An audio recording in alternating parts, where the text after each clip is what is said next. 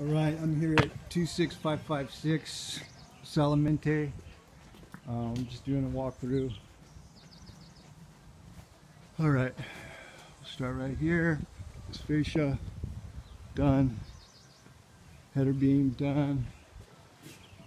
One, two, three, four, and five 20 foot rafter tails. This is all done here. Um, got the flashing on. Let's see what else we do here.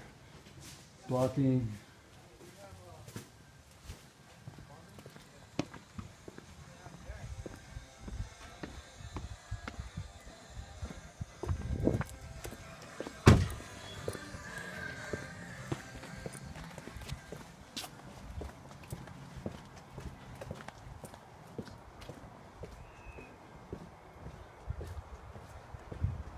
Had a piece of fish up here, there. Um, changed this skirt all the way around. Brought these balusters to code. Put the 2x6 on top. Um, we have one problem over here though.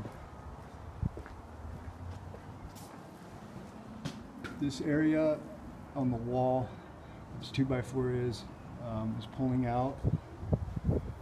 There's nothing behind it except for wall void. Um, nothing to attach it to.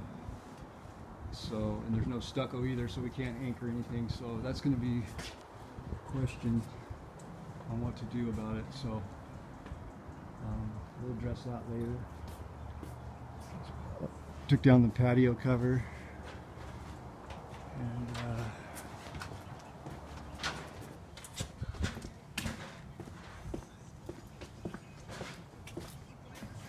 Door here.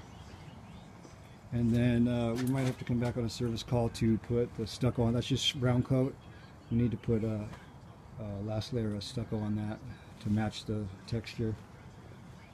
And uh, so yeah, that deck issue on the wall in the 2x4 and uh, the doggy door. And uh, I it. Oh yeah, we need to touch up this flashing and these uh,